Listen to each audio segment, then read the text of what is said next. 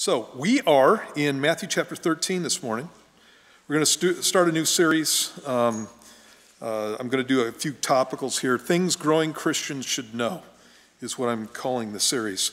And we're going to go over the parable of the sower um, this morning and uh, talk about that. So, let's pray. Uh, actually, you know what? Let's go through and read this first, and then, then we'll pray and get into it. Matthew chapter 13, why don't you all stand? We'll go through and read it together. I will read it out loud and you guys will follow along. We used to do this thing where I would read one verse and, and the congregation would read the next verse, and then I'd read the next verse, and you guys didn't do that very well. I'm sorry. Every, every time we would do it, people would come up and go, Steve, do we have to do that? You know, that's a train wreck.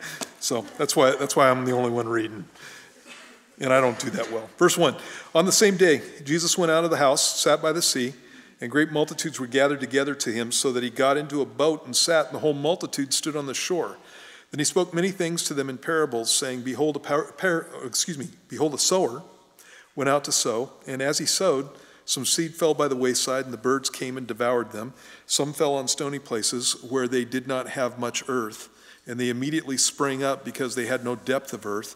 But when the sun was up, they were scorched, and because they had no root, they withered away. And some fell among thorns, and the thorns sprang up and choked them. But others fell on good ground and yielded a crop, some a hundredfold, some sixty, some thirty. He who has ears to hear, let him hear. End of sermon. That's all Jesus ever said to them. Yeah, that's all he said. And then he goes, End of sermon. Okay, I'm making a point here.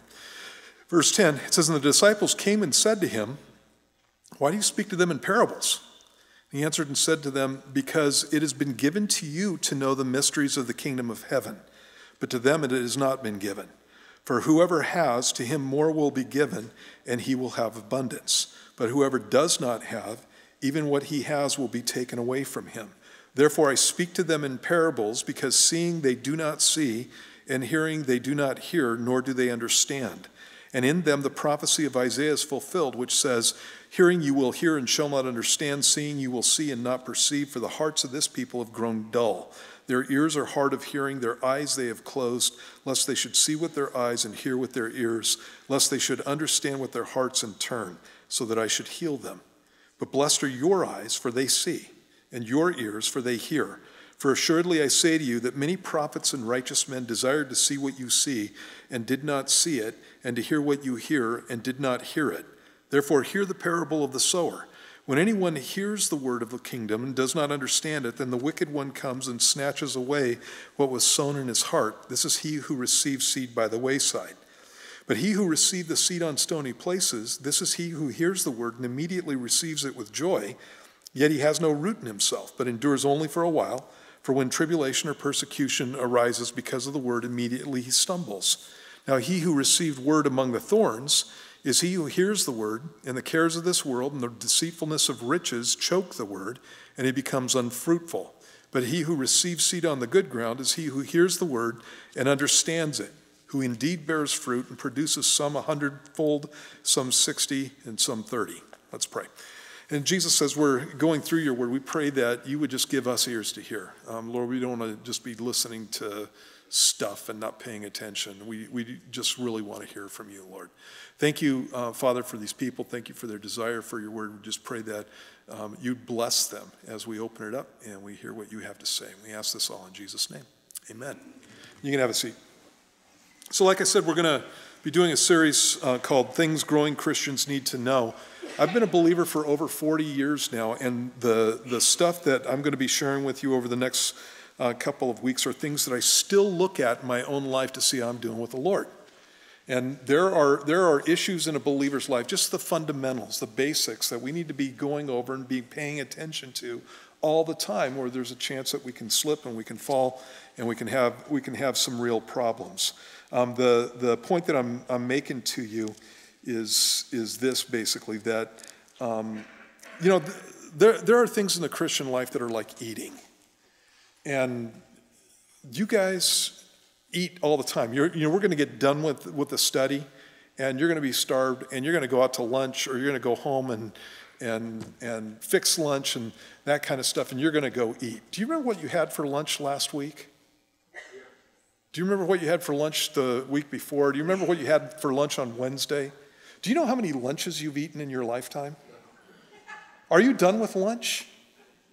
You know, how about dinner? You done with dinner? Never going to eat dinner again? Are you, are you looking at dinner and going, oh no, I got to go eat dinner again? You know? No, we don't do that. And you know, like I like I said, you don't even know how many dinners, how, how, much, how much food you've eaten over your whole lifetime. You can try, sit there and try to calculate it 365 times three or four or five, depending on who you are. You know, that and, and that kind of thing, and try to figure that whole thing out. But you're not paying attention to that, and you're not you're not looking at that like it's a chore. And there are things in your walk with God that are just like that. You're going to be dealing with exactly the same thing, whether you are three years old in the Lord or whether you're 50 years old in the Lord. It's like eating a meal. And uh, it's not something that should ever be getting old to you. Um, it's something that, again, you have to do if you're going to remain strong. Now, Jesus' um, parable here is a parable on growth. And one of the things that everybody needs to know, every Christian needs to know as far as their growth with God, is that you have a choice in this matter. You have a choice as to whether or not you're going to follow God, as whether or not you as to whether or not you're going to succeed as a Christian. You have a choice as to whether or not you're going to end up in heaven. You have a choice on this. And God makes it clear over and over through Scripture. There's a passage in Deuteronomy 30, verses 19 through 20, where Moses is speaking. He says, I call heaven and earth as witnesses today against you that I have set before you life and death, blessing and cursing. Therefore, choose life, that both you and your descendants may live, that you may love the Lord your God, that you may obey his voice, and that you may cling to him, for he is your life and the length of your days, and that you may dwell in the land which the Lord swore to your fathers. And the passage goes on.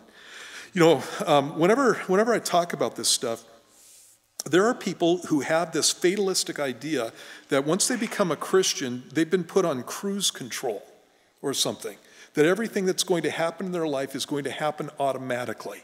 And the Bible never teaches that, never teaches that.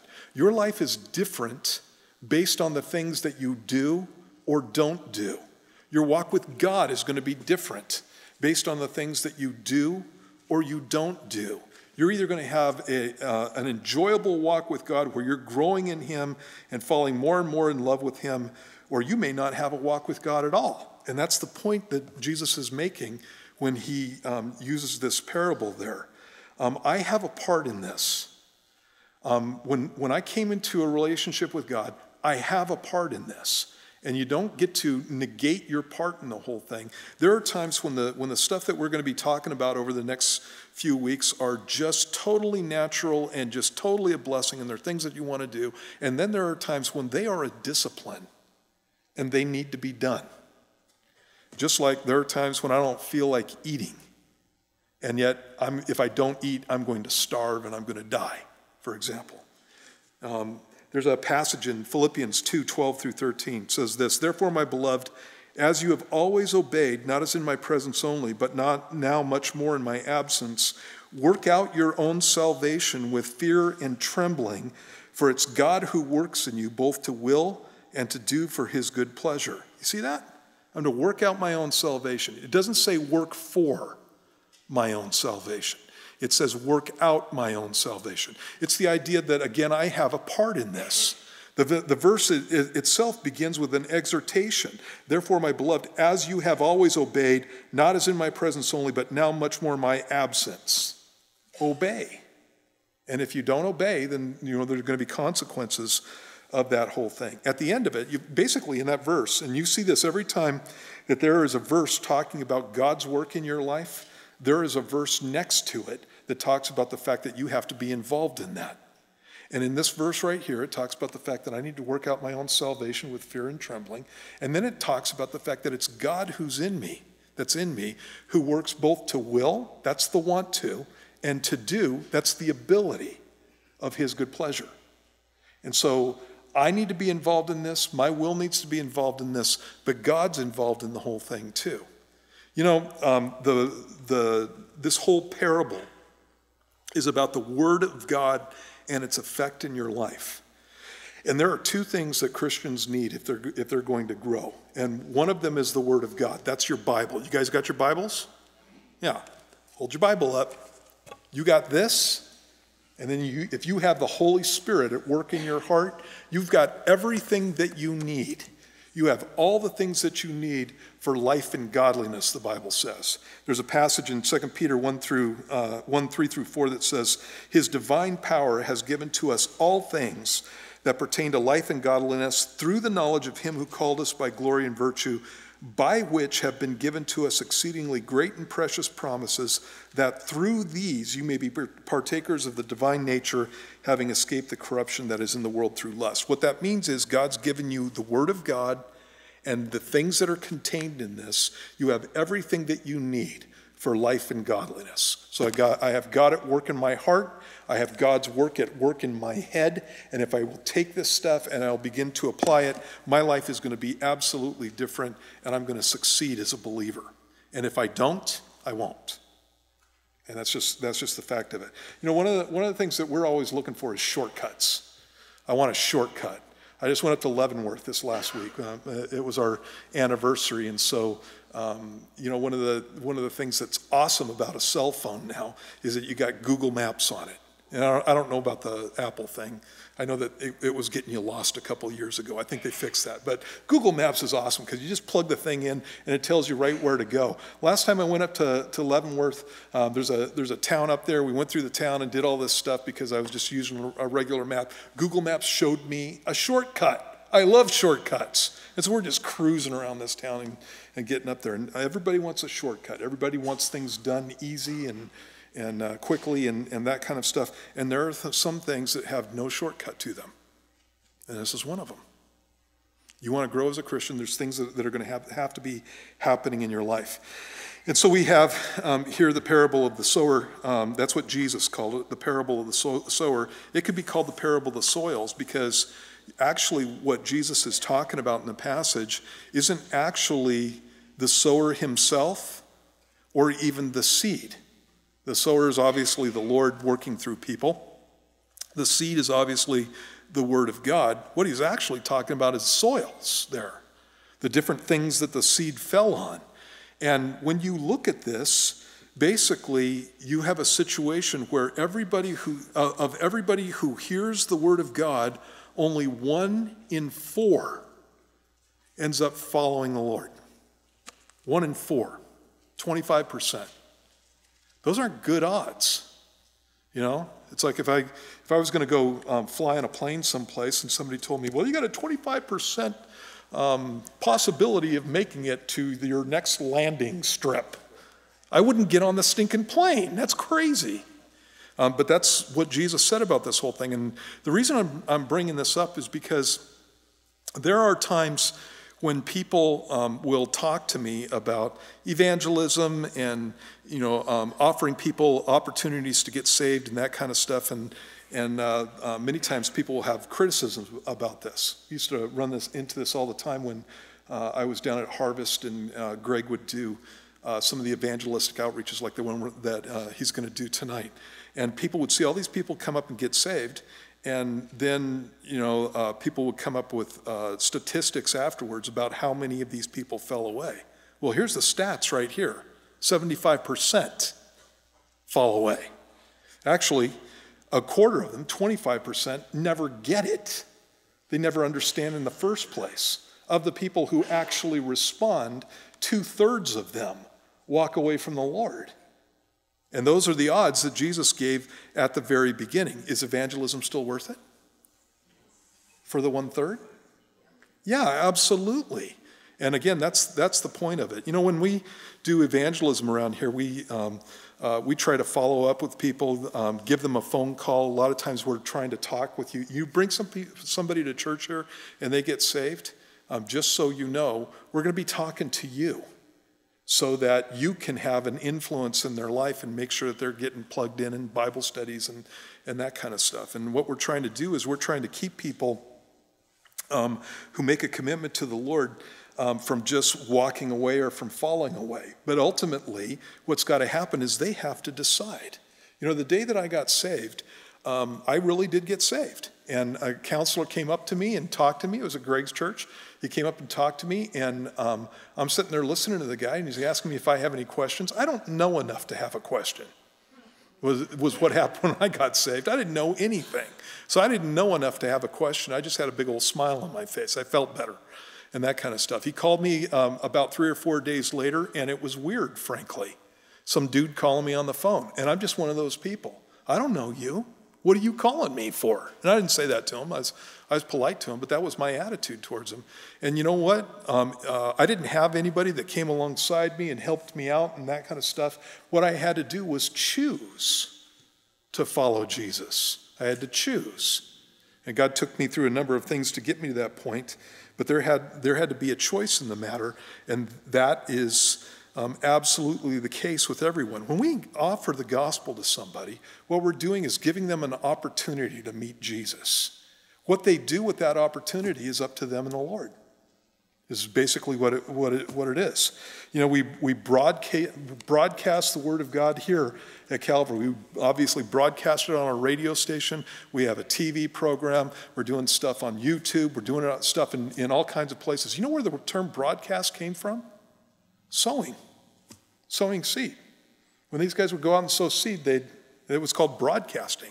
They'd take it and they'd throw it out. It was a broadcast uh, with that. And so that's what we're supposed to be doing as believers. You know, what, what happens with the fruit, if I'm, if I'm sharing the Word of God, what happens with the fruit is not my issue.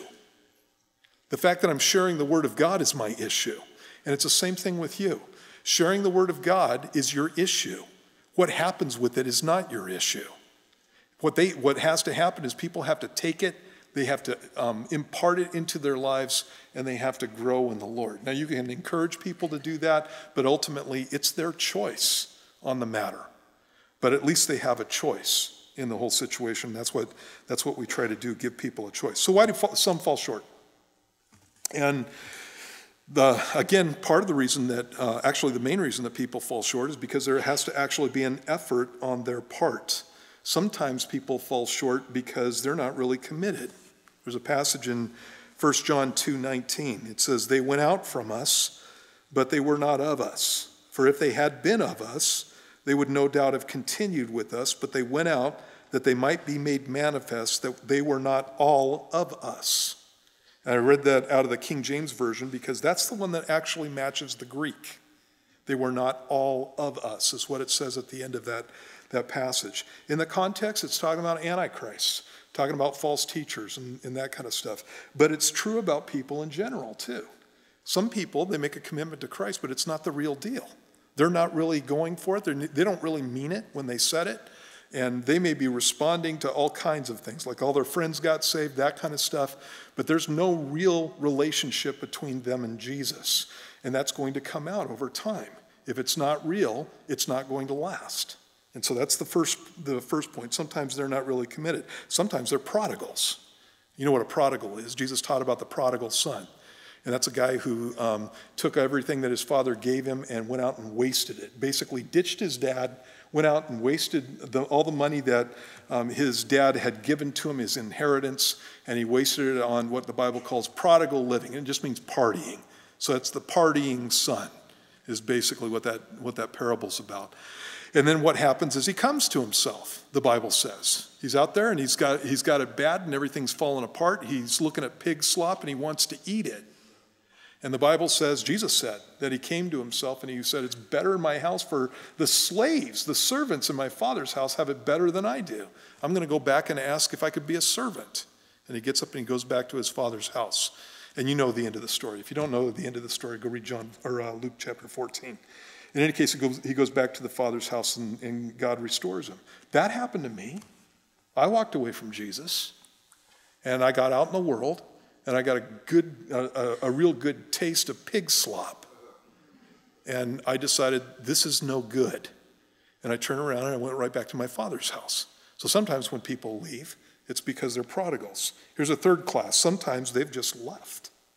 Sometimes they just decided. And they, they know the score. They know what it means to follow Christ, and they just don't want to anymore. and they've left. You have warnings of that. There's a whole book of warnings in the book of Hebrews.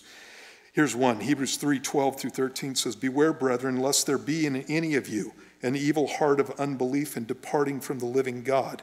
But exhort one another daily while, while it's called today, lest any of you be hardened through the deceitfulness of sin. And so you have those reasons. Um, Jesus goes on in this passage, and in verses 10 through 15, basically you see the fact that hearing from Jesus is a privilege. Like I said when I was reading the passage, all these guys heard, the crowd that was sitting there listening to Jesus, all they heard was a sower went out to sow, threw some seeds on the wayside, birds came and ate it, threw some uh, seeds on stony ground, the sun came out and cooked it, threw some seeds in thorny ground, the thorns grew up and choked it, threw some seeds on good soil, and it yielded fruit. End of sermon. That's what they heard. And then Jesus stops. Crowd disperses, and the disciples come up to him and go, What are you doing? Why are, why are you teaching these guys in parables? And the, basically, the reason that Jesus was teaching these guys in parables is because they weren't listening. They weren't listening. So you see that, verse 11, he says, Because it's been given to you to know the mysteries of the kingdom of heaven, but to them it's not been given. For whoever has, to him more will be given, and he will have an abundance. But whoever does not have, even what he has will be taken away from him. Doesn't that sound mean? So all the, the guys that have the stuff, you're going to give them more, and the guys who have nothing, you, you, they don't get anything, and, and even what they do have is going to be taken away from them. Look at verse 13. Therefore I speak to them in parables because seeing they do not see, hearing they do not hear, nor do they understand. And then later on he quotes from Isaiah and says that these, the hearts of these people have become dull. They're not interested. And so he's not wasting his time. And it's not like Jesus started out this way. You know, most times when you hear about parables, uh, people will say, Jesus taught in parables so that he could explain things. No. There were times that he did that, but in this instance, Jesus taught in parables so that people might um, actually ask him a question, so that people might actually kind of be interested, so that you could weed out the people who could care less about what the Word of God actually said from the people who were really interested and wanted to do something with it. All these guys had to do, and it's a multitude, all they had to do was walk up to Jesus and go, I don't get it. you just talked to us about throwing seeds around, and I don't get it. And they didn't. And so what happened was uh, Jesus just spoke to his disciples because they were interested. You know, one of the things that we need to be careful about is the fact that um, when we're hearing from Jesus, we're, when we're hearing from the Word of God, this is an absolute privilege. And it's not something that you have to have. And it's not something that God's obligated to give to you. You need to keep it in mind. It goes on, and in verse 17, talks about the disciples here, and it says, for, uh, or verse 16, but blessed are your eyes, for they see, and your ears, for they hear. For assuredly I say to you that many prophets and righteous men desired to see what you see and did not see it, and to hear what you hear and did not hear it. And then he, then he goes on with the passage. And basically, what Jesus is saying to these guys is, You're getting blessed in this way, again, because you listen, because you care about this stuff. And that's why I'm blessing you with this. And then he makes another point and says that you're blessed beyond what you actually think you're being blessed by because there were prophets that came before you that would have loved to be in your place. These guys were in the one time in history where God came down and where he was speaking to them face to face. And they were getting to hear all the stuff that we're hearing right now, not from Steve Whinery's voice over a microphone, but from the voice of Jesus, the voice of God in, in, in a human body and seeing and hearing it and hearing the inflections and seeing, seeing the face and everything that was going on with it. What an awesome time to be in. And you know what? Actually, um, we've got it even, you know, uh, uh, I'm kind of even up on whether or not I would like to have been there at the first coming of Jesus or be where we're at, where, where we're about to see the second coming of Jesus. I don't know which one. You know, as far as, uh, as far as learning the word and stuff, I think I've got all kinds of advantages to these guys. because I got all kinds of books and, you know, I've got the whole Bible and it's not scrolls and, and all, of, all of that kind of stuff. So I've got some real advantages. One of the things that we need to keep in mind as believers is um, some of us came out of the world. And again, you remember when you didn't have any of this? Remember when there was no Jesus? Remember when there was no Bible? Remember when it was just you and your family and everybody's doing whatever and it was all a free for all? You remember that? And now think about what you've got now. That's an awesome thing. And some of you grew up in Christian homes, and so you, you've, you've had this all your life. It's kind of like, um, you know, I was just comparing it all to food. Uh, it, it's kind of like growing up in a, in a home where your mom is like a gourmet cook. You don't realize what you have until you leave your home. And all of a sudden you figure out what you had. And so your mom's like this awesome cook, and every time you, you go down, you go to sit down, you eat, and it's like, oh, this is really good. And that's what you're thinking. You're, oh, mom, very, very well done, mom. Thank you very much. That's very good. And, and that kind of stuff. Your friends are coming over and going, oh my goodness, what is going on? they're just stuffing their faces and they're like, and you're like, what is wrong with you?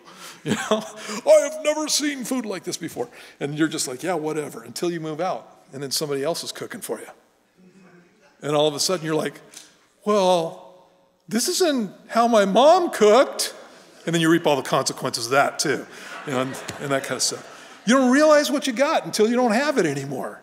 And that's the situation that we have. It is an absolute privilege to be able to go through the Bible, hear the Word of God, to hear Jesus talking to us, and you know, just the time that we get to get to spend in it and look at what Jesus does is awesome. And so don't take it for granted. So he goes through and he goes here the, par- the parable of the sower, and he begins explaining to them what the what the different aspects were. And so the first one he says, verse 19, when anyone hears the word of the kingdom and does not understand it, then the wicked one comes and snatches away what was sown in his heart. This is he who received the seed by the wayside. So the wayside is just the path on the side of the, of the field, and basically the birds come and take it away. He says that's like people who are drive by hearers. That's what I call them. You know, it's like you just show up, or you you just happen to be in a place and you hear some of this stuff and it doesn't have any kind of effect on you, it just goes over your head and you're not paying any kind of attention to it all, uh, to it at all. And um, basically, um, it's, it's not going to have an effect on you. He talks about the birds here. When I, when I was in, um, when I was younger, I, I, lived in Big Bear, uh, California. It was a mountain uh, community, and we had squirrels, just like we have squirrels here, only there were gray squirrels. And so you'd, you'd set out uh, bird seed and stuff for the squirrels, they like that. And um, mostly what we set out is peanuts. And so you'd put out peanuts on the, on the deck rail and the squirrels would come up. And sometimes they come walking over to you and they just take it out of your hand and stuff like that. The squirrels were real cute. But we had blue jays too. And, and blue jays, you know, they're beautiful birds, but they're obnoxious. They're just like, you know, just radically demanding and that kind of stuff. You go out to feed the, feed the squirrels and the blue jays are you know, attacking the squirrels, and you have a whole, you know, slew of blue jays. I don't know what a flock of blue jays is called. Probably a flock, but they all come up and they get the peanuts and chase the chase the squirrels away and, and that kind of t- that kind of stuff. They carry away small children and. And, and, and those kinds of they were just obnoxious right and whenever i think of this that's kind of what i think of so you've got people who are going along in their life and they just don't get it um, G, uh, the, the Bible's clear on the fact that Satan is absolutely opposed to you hearing and responding to the gospel. There's a, there's a passage in 2 Corinthians in chapter 4 that says this But even if our gospel is veiled, it's veiled to those who are perishing, whose minds the God of this age is blinded. See that? God of this age has blinded their minds, who do not believe lest the light of the gospel of the glory of Christ who is the image of God should shine on them. Here, here it is in the NLT. If the good news we preach is hidden behind a veil, it's hidden only from people who are perishing. Satan, who is the God of this world, has blinded the minds of those who don't believe. They are unable to see the glorious light of the good news. They don't understand this message about the glory of Christ, who is the exact likeness of of God. And you know what? That explains people who, when you talk to them about the things of God, they just get this glazed look over their eyes and it just goes over their head and they're like, what? That's, you know, there, there are people who come to church here, and I know that they're coming to church because they're forced to. and they don't have any interest in the things of God at all. And usually, when I'm, when I'm teaching, they have their heads bowed like this. And I see you. You know, I'm looking, and I see you. So does God.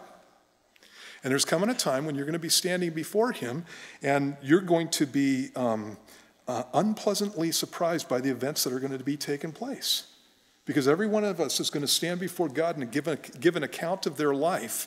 And what God is going to be saying to you is, What did you do with my son? Well, I didn't know anything about your son. You know, I never really had a good chance, and all I got, the preacher was boring. and that kind of stuff. And God's going to sit there and He's going to, you know, press the button in the back of your brain. You have a button in the back of your brain, it's in the Bible. I'm just joking. Um, He's going to press the button in the back of your brain, and your whole life is going to unscroll. And every time that you've heard about Jesus, every time that you've heard the gospel, every time that you got an opportunity to respond to, to an invitation to come to Christ and you just went no, or I'm not interested, or I'm too cool, I'm too cool for my shirt, and I'm too cool for you. You know, that kind of, that kind of stuff, it's coming out. And you're going to be seeing it. You don't want to be in that position. And so sometimes it's like that. There have been all, all these times when, when I've been sharing the gospel with people, just like one on one, and they're like, I don't get it, I don't get it. And that can go on for weeks. And I'll be praying for a guy, and then all of a sudden, click, the eyes come open, the blinders come off, and all of a sudden he's understanding what's going on. There's a spiritual warfare that goes on, and Satan doesn't want you to have anything to do with the things of God. Next group I call them hard, I call, call them hard rock believers. Um, he talks about the, the fact that, um, verse 20, but he who received the seed on stony places, this is he who hears the word and immediately receives it with joy, yet he has no root in himself, but endures only for a while. But for when tribulation, that's talking about trials, hassles in your life, or persecution arises because of the word immediately, he stumbles. And so you, these are people who are fair weather followers. These are people who follow Jesus for a period of time, and maybe they're excited even. Jesus talks about that. Even excited when they first give their life to him, but over a period of time, stuff starts happening, and they, don't, they didn't think that they signed up for it. Stuff starts happening, like he says, trials. Well, you know what? You're going to go through bad stuff whether you're a Christian or not. Did you know this?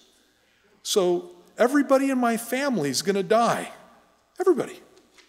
They're all going to die. My son's going to die. My daughter's going to die. My wife is going to die. My grandma's already died. My mom's going to die. My dad's going to die. Everybody's going to die. And every time somebody dies in my family, I have a hard time with it. But I'm not alone. I have Jesus with me in the whole thing.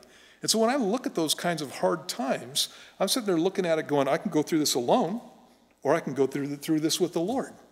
And I'd much rather go through, through it with the Lord, thank you. And that's what Jesus promised. In the world, you're going to have tribulation, but be of good cheer. I've overcome the world, is what he said. So don't expect that life is just going to be wonderful the whole way through um, being a believer. And you know what? I can tell you this it's going to be way more wonderful than what you had before. Absolutely. I can tell you that. Maybe not at first. Because right at first, everybody starts picking on you. And that's what Jesus is talking about in that passage. These are people who, who say things like, I've tried Christianity, but it didn't work for me. Well, you know what? First off, we don't try Christianity. It's Jesus that we're coming to, not Christianity. It's not Calvary Chapel. It's not, you know, the teaching of the Bible. It's not any of that stuff. It's Jesus that we come to. And you don't try Jesus. The guy's not toothpaste. Jesus is somebody you commit your, your heart to or you don't. You either follow him or you don't.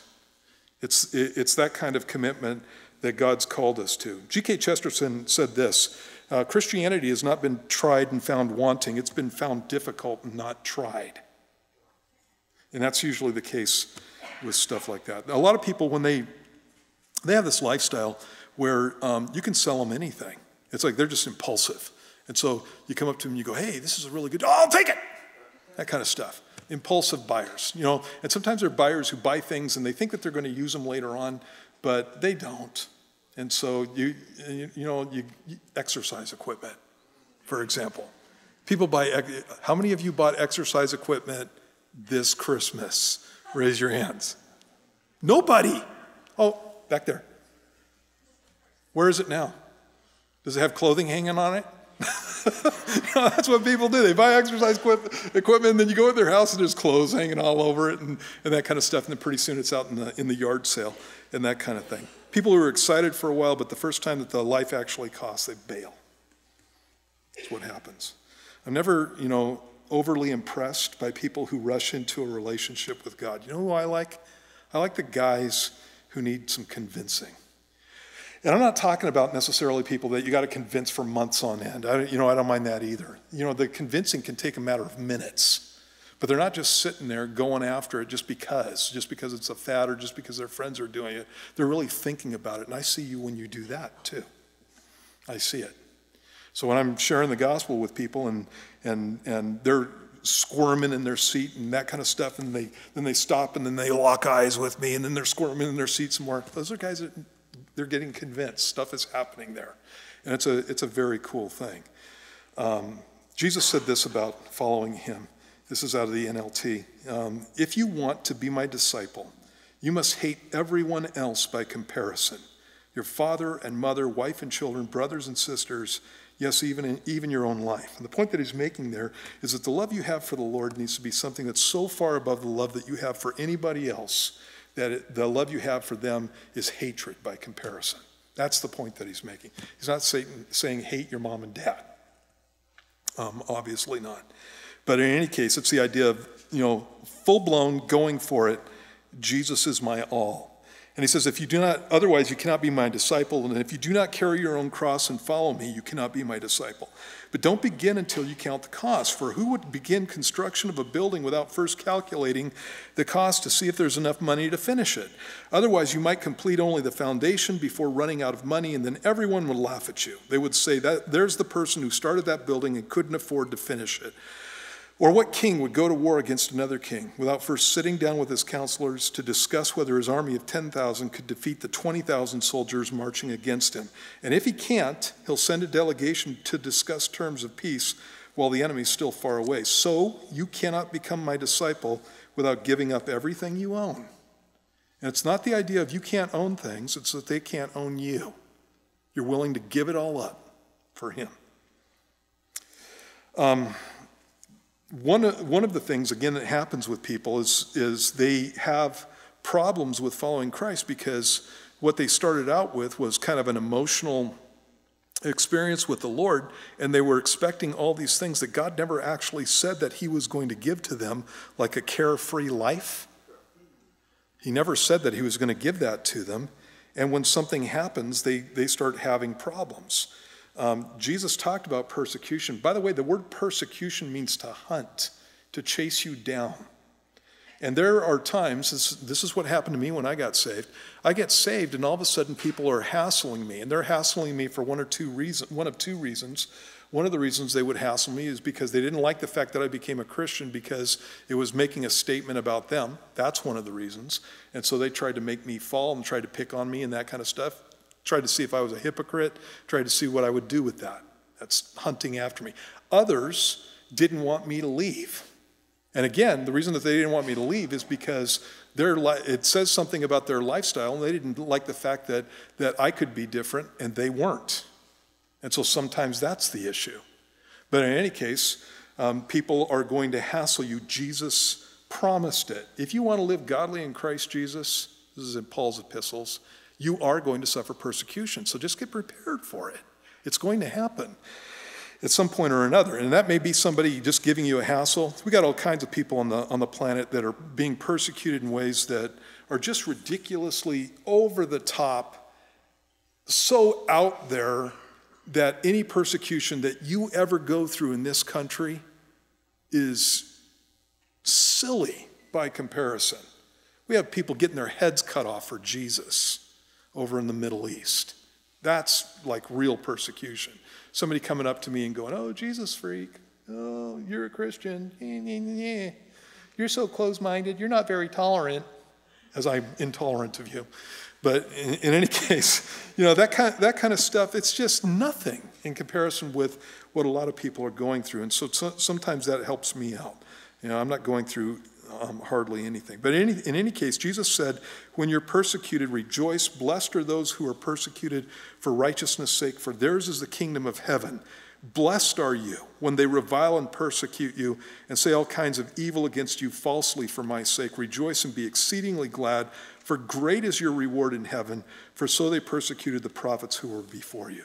So when somebody hassles you for being a Christian, you need to rejoice over it because God's watching it and He sees it all, and you're going to get a reward that actually you probably don't even expect. You have no idea what's going to be happening to you when you get home to heaven and you took that kind of garbage for Jesus. He's, he's grateful and he's faithful. And so you need to rejoice in those things. Jesus said, Blessed are those who are persecuted. It means, oh, how happy. Literally, what the word blessed means. So somebody's hass- hassling me, and I'm supposed to be happy. Not hassy, happy about the hassle, but happy about the fact that your life is different.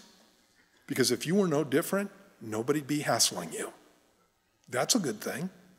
And you can be happy about the fact that, again, God is watching that and that He's going to reward you for it. And you can also be happy about the fact that you can watch what happens in other people's lives when they're doing that stuff to you, because God doesn't just let it go. And you can watch the hand of God in people's lives who are doing the hassling. It's a pretty cool thing. So there's lots to be happy about. Trials, persecution, that kind of stuff, that does not make a believer's walk weaker it makes it stronger. And that's the way that it's supposed to go. I get stronger by the, by the things that I go through.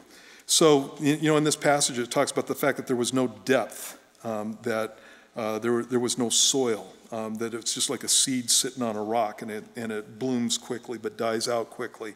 And the reason for that, again, is because we need to have some depth in us. Like I said before, sometimes people get, when they get saved, it's just nothing but an emotional experience. How many of you had an emotional experience when you got saved? Raise your hands. That's awesome. I, I think it's totally valid to have that. I think it's a very cool thing. I didn't have it. You know, and actually, until after I got saved, I didn't have anything. I just had fear. That's the emotion that I had going on when, when I gave my life to Jesus. And so I've known people who had an emotional experience, and I've had known people who had none. How many of you had no emotional experience when you got saved? Yeah, and you're still here. So, again, the point is that it's not based on emotion. This is one of those reasons that, you know, when, when people say, oh, Jesus is a better high than drugs ever were. Well, what if, he's, what if you get into a situation where you're not high on Jesus anymore? Are you going to bail? Are you going to walk away? The reason we follow Jesus is because what he said is true. Who he is is true. That's why we follow him. Now, I don't follow Jesus because I feel good. I follow Jesus because what he said is true. If you're following Jesus because of an emotional experience, as soon as your emotional experience goes away, you won't be following Jesus. If you're following Jesus because of a person, because my mom told me to, because my dad told me to, and that's fine, that's how things start, but you need to get your own. You give your life to Jesus when you're a kid. You, you know, usually everybody that I've ever known that's given their life to, to Christ when they were, they were a kid, there was a point when they got older when they were making decisions all on their own and it had nothing to do with their parents anymore. It was just, I love Jesus and I'm going to follow him. And that's getting your own. Sometimes people follow Jesus because their girlfriend got saved or because their boyfriend got saved. Well, what happens when you break up? You're going to walk away from the Lord? And it's not that God can't use that, because He can't, but get your own. And sometimes people, you know, follow Jesus because this is an awesome church, or I got an awesome pastor, or because this person is the one who led me to the Lord. Well, what about if the church isn't so awesome anymore? What about if the pastor isn't so awesome anymore? What if you find out something about the pastor that you don't like? What about that? Right? What if you find out something about the church that you don't like. Like, there's hypocrites here.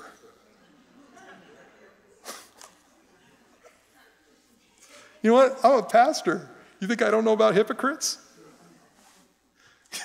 One of the things that I never do is introduce myself as Pastor Steve, ever. If I get on a plane, I'm sitting next to somebody, I don't say, Hi, I'm a pastor, let's, let's have a talk. I never do that. I just have a talk with them. And they, if, they, if they ask me my name, I go, My name's Steve. You know, mom didn't, mom didn't put pastor in front of my name when I was a baby. Stuff. My name's Steve, you know.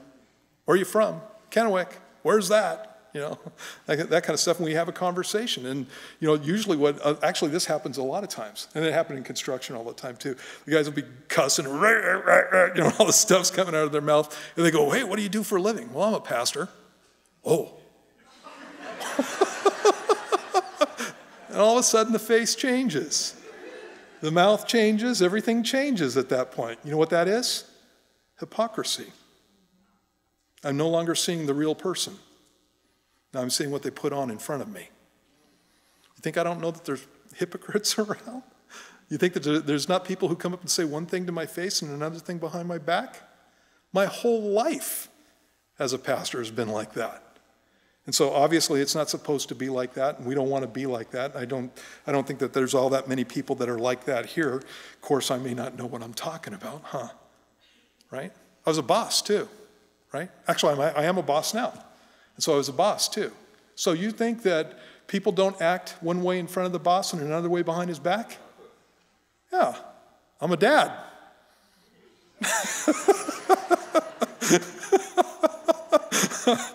all that stuff. You know, that's, that, that's where life is. That's how things go. And so if you're not going to follow Jesus because of what everybody else is doing, that's ridiculous. You follow Jesus. Jesus will never let you down. Jesus will never fall short.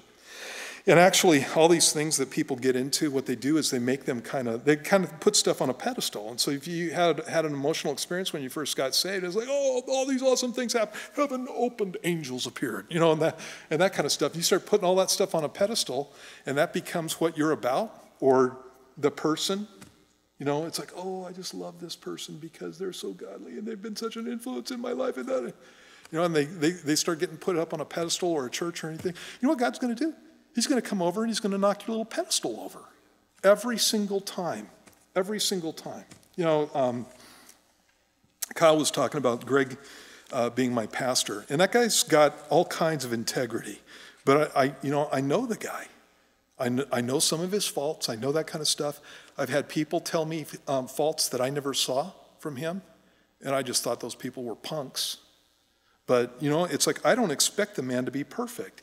And he's followed Jesus the whole time that I've known him, and he's been faithful to do that. You know what's going to happen if he falls away tomorrow? You know what's going to happen to me? Nothing. I'll be bummed for him, but I'm still following Jesus because he didn't introduce me to himself. He introduced me to Jesus. And that's who I follow, right? And so you keep your head, head there and you're going to be just fine. Here's a third, the third group the people who choke. It says, Now he who receives seed among the thorns is he who hears the word, and the cares of this world and the deceitfulness of riches choke the word, and he becomes unfruitful. Um, you know, the whole thing with choking, I, you know, I, I played sports, and there were times when I choked. One of, one of my major times, well, I'll, I'll just kind of tell you. Um, I was in high school, and I, I'm playing defensive end, and they had moved me there from uh, wide receiver because I have, I have hands of stone which means that every time I tried to catch a ball, it would just bounce off my hands. You know, the coaches would say, What, Whinery? They hit you in the wrong spot, you know, in your hands. And so I was no receiver. So they put me on the, on the defensive line. And this one time, my coach came up to me, my uh, defensive line coach came up to me, and he grabbed the, the uh, running back in the, in the backfield. He pulled him over in front of me. And so he's pulling him from the backfield, going this direction with him. And he goes, Whinery, if you ever see a back going in this direction, you go out and you stand next to him and you'll get a touchdown. That's all he said to me. I was like, what? And then we moved on with practice. He didn't offer me an opportunity to ask questions or anything. He just said that. And so my senior year, I come up on a game, and all of a sudden, out of the backfield, I see this back come running over in front of me. And so I did what the coach told me. I went over and I stood behind, beside him. I got beside him, covering him. And all of a sudden, he looked back towards the quarterback. I looked back towards the quarterback, and five yards off is the ball. And I don't have time to react. And so I just reached up my hands, grabbed the ball, and ran it 60 yards for a touchdown. It was awesome. The whole crowd was screaming, Rah! You know, we won the game. Uh, you know, really, really, really awesome. So later on that year, we're playing a, we're playing a game against uh, another team, and my head coach really wanted to win this game really bad. And so we're playing against this team, and I see the same thing. So the back comes out. Now, usually, my, you know, the guy I, I'm on is the quarterback. He's the guy that I'm supposed to be watching. And I see the back going out, and it's just, just like this split second decision process that's going on inside my head. I can either follow that back or follow the quarterback. And frankly, I kind of knew what was going to happen if I followed the back, and I was a little scared of it. And so I figured maybe I can get the quarterback before he gets the ball off. And so I ran towards the quarterback, and he saw me coming, and he just went bloop, right over the top of my head, and they got like 30 yards on that run. And the next Monday, we're in films, and my head coach goes, Whinery, what were you doing? Why, did, why didn't you follow the back out there? And he really wanted this game. And if I'd have got, if have, we tied it. So if I'd have got it, broke up the, if I'd have broke up the play, it was, it was third down. If I'd have broke up the play, we probably would have won. If I'd have caught the ball and ran it again, we certainly would have won. And he wanted the game. And he said, Whinery, what, what were you doing? And I just go, I don't know, coach. I choked. And that's what happened. I knew what was going to happen, and I was afraid of it, and I was more comfortable doing, doing something else. And so what I did was I choked. You don't want to choke with Jesus. You want to you want to follow all the way through. It talks about weeds choking out the um, the fruit in, in these guys. You know, weeds don't grow up overnight. You know what I mean? It's not. This is not a picture of you know these people are going along and everything's hunky dory and everything's fine and stuff. They're just, they're, they're just going along, going along, and all of a sudden this weed pops out of the ground. And say you're a little flower. You're a flower growing there. And the weed pops out of the ground and, and it reaches over to you, grabs you by your little flowery neck, wrestles you down, and start, start pulling petals off. And that's not what happens with weeds, right? So what happens is they kind of grow up together. And a lot of times the weeds can grow up later than the plant itself. And they look pretty innocuous when they first start growing. But as they get fed and as, as they grow more, what ends up happening is they take out the space that the flower, or in this case, the, the, the um, grain had to grow and they choke it out. Um, Jesus doesn't say in this passage that it was sin that choked these guys out. He said that it was the cares of this world and the deceitfulness of riches. And let me just say this right off the bat here God, God wants you to take care of certain things. My family is important. I need to be taking care of it. I need to have a place to live. That needs to be happening. Um, in my case, I need transportation. That needs to be happening. There's all these things that are going on in my life. I got to pay the electric bill. There's all, all this kind of stuff going on. I'm raising kids and all that kind of stuff. All that stuff is going on. It's not supposed to choke out the Word of God in my life. It's not supposed to choke out the work of God in my life.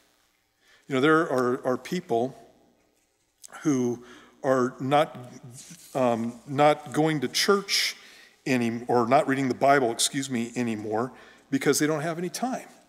That's one of those things that Satan will do with you is try to use up your time so that you can't use it in the way that God wants you to do it. Does God want you to read your Bible? Will your life be different if you do? Yeah, it will. Does God want you to um, look at Facebook? I don't know. Right? Sometimes that's good, sometimes it's not so good right? So, does God want you on Instagram all day long? Yeah, what's that? Mike said, What's that? it's this picture thing. They put pictures on for family and stuff. You know, there's all these things that, that, that take up your time and start choking things out. Does God want you watching TV all day? You know, and uh, TV's not bad, but when it becomes something that starts choking out the Word of God in your life, then it becomes an issue, doesn't it? And so people, you know, a lot of times when people are starting to get into this position, they'll, they'll, go through and read their Bible, but they can't wait to get done with it so they can get onto something that they actually want to do. You're getting choked at that point. Same thing with going to church. We all know that going, going to church doesn't save you, right? But you know what going to church does? It keeps you from falling away. The Bible says that we're not to forsake the gathering of ourselves together, as is the habit of some, and even the more so as we see the day approaching. What we're supposed to be doing is encouraging and exhorting each other um, uh, uh, uh, into love and good works. And it's one of those things that keeps you accountable. And so you start, you start bailing on church, um, I can already tell you where you're going to go. And this is one of those things that you have to make a decision about your life. You don't compromise these areas. You're not that strong. I've been a Christian for 40 years. I'm not that strong. So you don't compromise in these areas. And one of the things that will happen with people is they start getting a busy life and they go, well, I don't need to go to church all that much. And, you know, after all, God is, you know, God is everywhere. And so I can go out and I can be on the, on the river and fishing and that kind of stuff. And that's how I worship God and, you know, and creation and all that kind of stuff. Really? You know, I've been with lots of fishermen. I've never seen them stop and pray. Ever. Unless they're going praying for fish. I don't see them singing worship songs. I have never seen them doing anything like that. You know, and, uh, obviously that's just nothing but a big fat excuse. You know, when I uh, first got married, um, I was going to Sunday morning, Sunday night, and I was serving at both those services. And then Wednesday night was the night that I got, I got fed. That's where I'm just going to go and sit down. And I'm listening to the Bible studies otherwise too, but that, that was my time where I'm just going to focus on the word and stuff. And so I, so I get married, and my wife comes up, and I was doing a couple other Bible studies during the week too. Um, and I get married, my, my wife, one of the first things that she said to me was, Well, we don't need to go to church all that much. We don't need to go on Wednesday nights. And I said, Get behind me, Satan. I didn't say that. I said other stuff that was really stupid, but not that. and she was a young believer, and so you know, I just talked to her and I just went, you know, Sunday morning is when I, I serve, and I serve Sunday nights, and I'm going to keep doing that. And Wednesday nights is when I'm getting fed. We're not going to stop. And uh, um, I did, I did um, stop going to a uh, Friday night Bible study uh, and spent time with my wife and stuff. But, you know, um, there are things, again, Satan wants to choke things out. Having children is not a reason not to go to church. Having a job is not a reason not to go to church. Um, you know, getting busy is not a reason not to go to church. You know, the, the, we come together on a Sunday morning specifically because we're honoring and we're um, celebrating the fact that Jesus, who saved my life, rose from the dead. And we're here to worship him. Same thing with, with praying. You know, one of the first, thing that goes, the first things that goes is your prayer life. And any effective prayer life is what I'm talking about. You may still say prayers, but they're cold and they're distant and that kind of stuff. And again, it's because these things get crowd out. And so you don't want other pursuits to crowd out God. God, God says if it, that if you'll seek Him and His righteousness, seek His kingdom and His righteousness, all these things will be added to you. If you seek all the things and stop going after God's righteousness in Him, you're going to lose it. And sometimes you lose all the things too. These, you know, when you're talking about people like this, these are people who used to be here all the time but slowly they begin coming less, and they have their reasons, their excuses and stuff, and then pretty soon you don't see them at all. And you find out that they're getting a divorce, or your friend, you know, j- just junk is going on in their life, and it's because they got choked out. There's a guy named Demas who was mentioned twice in the Bible. The first time that he's mentioned by Paul, it's in a really good way. And how'd you like to be mentioned in the Bible? You know, if Paul mentioned me in the Bible, I'd go, hey, have you picked up the book of First Corinthians lately? Steve Whinery right there. Right there. Second Timothy, though, Demas is mentioned a second time, and it's not so good. And what Paul says is, For Demas has forsaken me, having loved this present world, and has departed for Thessalonica. How'd you like that about you in the Bible? And that's, again, an example. And then finally, you have the fruitful hearers, and hopefully that's where we're all at. Key to growth in the Christian life is getting as much of the word into your life as possible.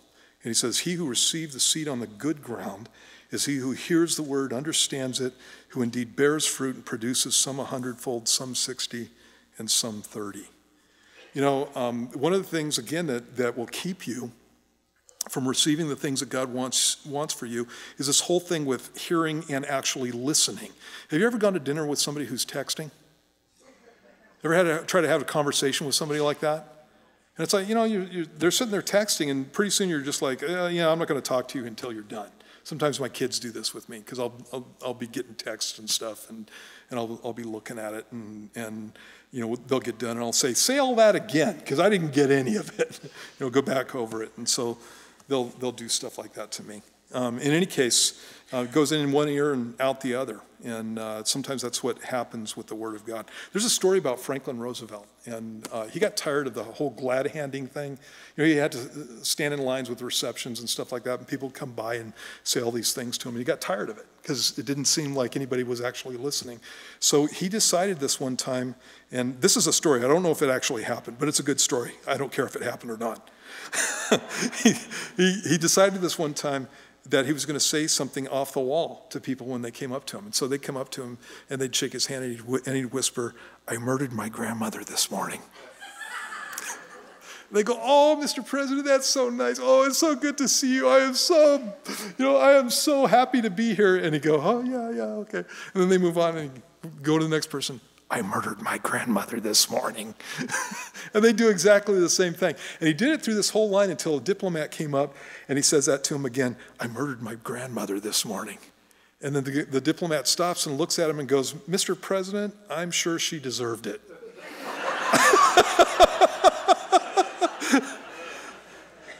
He's the only one who's listening. And you know, success or failure in the Christian life is dependent on how you hear the word. So, are you hearing it? Are you taking it in? Are you listening to what it says? Are you doing your best to apply it? And um, when, you, when you do it that way, you become strong. And here's another thing healthy people are hungry people. And the Bible talks about this hunger for the Word of God that we're supposed to have. Um, and if you don't have the hunger, it means you're sick. You know, you go to the doctor, and one of the first things that he's going to ask you if you're having problems, how's your appetite? And if your appetite is messed up, he's, he's going he's gonna know that there's an indication there. There's something going on there. And it's the same thing with your appetite for the Word of God. If, if what you're doing is trying to get through reading the Bible so that you can get on to other things, there's stuff that's wrong at that point. You're sick. And you're in, you're in danger of being somebody who's choked out and that kind of stuff. A healthy Christian is going to be hungry for the Word of God. And a person who's taking God's word into his life is going to be strong. And it's just a, it's exactly the same thing with food. In fact, the Bible compares itself to food. And so you take food in, you're going to get stronger. If you don't eat, you're going to get weak. One week without reading your Bible makes one weak. W E A K, right? And what you want to do is, is get strong. You know, we have need of endurance. We, we need to be people who can, who can hack it through things. And when the, perse- when the persecutions come to a person who's in the Word of God, then what he's going to be able to do is dig in and outlast the enemy.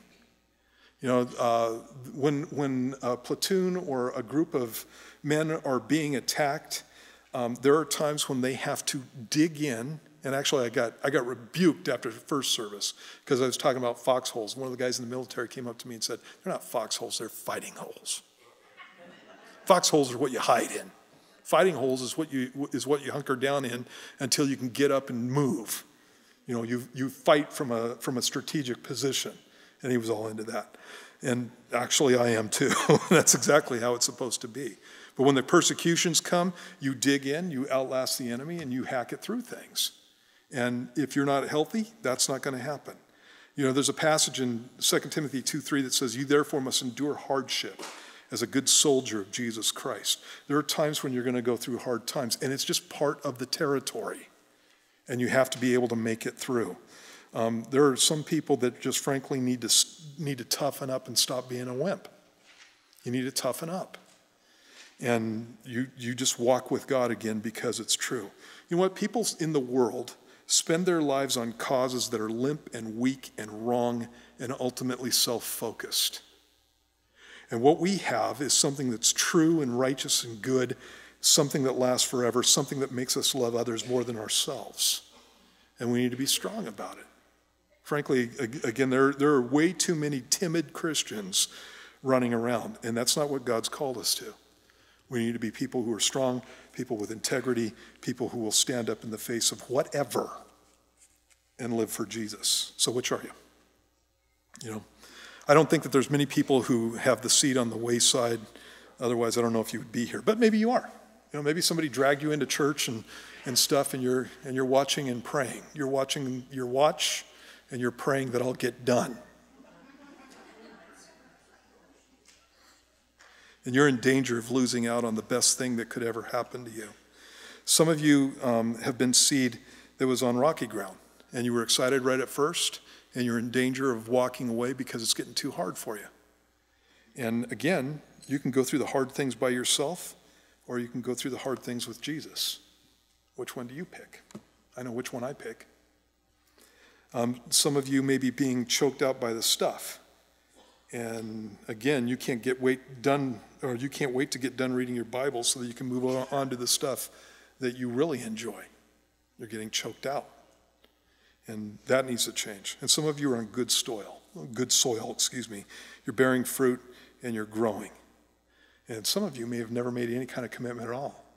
Some of you may be people who have never heard this stuff before. You just walked in the building for the first time and you're hearing this stuff for the first time. And uh, that's who I want to talk to right now. You know, Jesus talked about having a new life, he talked about being born again. He talked about the fact that you don't have to live the way that you've been living your whole life, that you can have peace in your heart, that you can have a joy that's just overwhelming. And it's not going to be there all the time in the sense of everything's going to be happy. I already talked about that. But you can have a different life than what you've got now. And Jesus talked about the fact that the reason that you have the life that you've got now, that you don't like so much, is because of sin. And not just the sin of other people, it's because of your sin too. You've been making choices and doing things that have not only caused harm to you, they've caused harm to people around you, and you start getting the consequences, and it's like this whole cycle that buries you. And Jesus said you can stop it, you can break the chains, you can get free and have a new life. And that comes through confession of sin and a commitment to follow him. I already talked about that too. Jesus said that you have to love me more than you love anybody. That's what he's going after. He wants you and all of you and not any little parts left behind. He wants all of you. And he's willing to take you. Well, the thing, that, thing, thing that's cool about Jesus, you know, there have been people who wanted me on their, on their team uh, um, in whatever, in business or in sports or whatever I was doing. They wanted me on their team. And there have been times where I looked at them and I go, and I, I and I thought in my head, I don't know if you know what you're doing. I don't know if you really want me on your team. I don't know if you know what my flaws are or not. You know? And I, and I would think that way. Here's the cool thing about Jesus He wants you, and He knows you, he knows all about you, knows you better than you even know yourself, and He still wants you. There's not a sin that, that can keep you out of heaven except for rejection of Jesus. Every other sin is forgiven. And so you need to make a choice. You need to decide whether or not you're going to follow the Lord. Some of you may have, uh, you know, like I said, may see yourselves in certain areas of that parable that aren't good, and you need to recommit your heart to the Lord. And I would just suggest that you do that. Just get things straight with Him. God, God does not want you to fail, He does not want you to be choked out, He does not want you to walk away. And He's going to be moving heaven and earth to keep you. So, you just need to make a decision. I'm going to pray right now. And um, when I pray, I'm going to ask those of you who don't know if you died today, would you go to heaven? And if you don't know that, you need to know. And you know that you need to make a commitment to the Lord. I'm going to pray for you. I'm going to ask you if you want to do that to raise your hand. And then afterwards, I'm going to ask you to stand up and pray a prayer with me, committing your life to Christ. And those of you who need to make a recommitment to the Lord, you just be thinking about it too, because this is a time to do that also. And you can pray and recommit your heart to Jesus and your life to Him totally. So let's pray. You be thinking about that while we're doing this. Jesus, again, we come before you and thank you, Lord, again for, for just how clear your word is. I, I like it, Lord, that you have things for us because we're interested. I like it that you treat us like adults. And people who don't care, um, you don't force it on them. But people who do, you make it absolutely clear so that they can make a real choice. And God, there are people in this room right now making choices. So, Lord, I just pray that you would help them to finally give their lives over to you, finally say yes to you, finally say, I don't know, just make it right with you, Lord and just walk out of here changed. And while your heads are bowed and your eyes are closed, if you're here this morning, you don't know if you're going to heaven, you don't know if your sins are forgiven, and you want to know Jesus, you want to follow him, if that's you, why don't you raise your hand up? I'm going to pray for you. You need to raise it up high so I can see it. This is your chance. Up in the front. God bless you. Anybody else? I'm not going to spend a lot of time on this. You guys are adults, you get to choose. But Jesus can change your life right now if you would like him to. You can have heaven, you can have a new life, you can have peace in your heart, you can get rid of your junk. You want Jesus? Anybody else? Raise your hand up high. Okay. Anybody who needs to recommit their life to the Lord? Would you raise your hands up? Yeah, I see you. God bless you. In the middle there on my right. God bless you. Okay. Let's pray. God, I just again pray for these and ask that you give them the boldness to stand for you. And ask that you do this in Jesus' name. Amen. You guys want to look up at me? You guys raise your hand. What I'm going to do is I'm going to pray a prayer with you, and this is just going to be a prayer committing your heart to Jesus. And um, again, this needs to be something that's between you and Him. I'll give you the words to say, um, but you do this. The Bible says you call on the name of the Lord, and He'll save you. That's, that's what He's about to do with you. Okay? So, I want you guys to just stand up right where you're at, and let's pray. And pray this out loud after me. Lord Jesus, come into my heart. I know that I'm a sinner and I've sinned against you. I'm sorry. Please write my name in your book of life and make me a believer.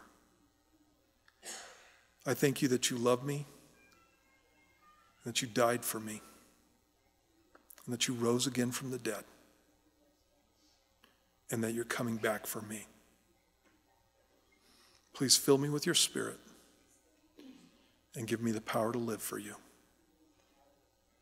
I want to give my whole life to you now.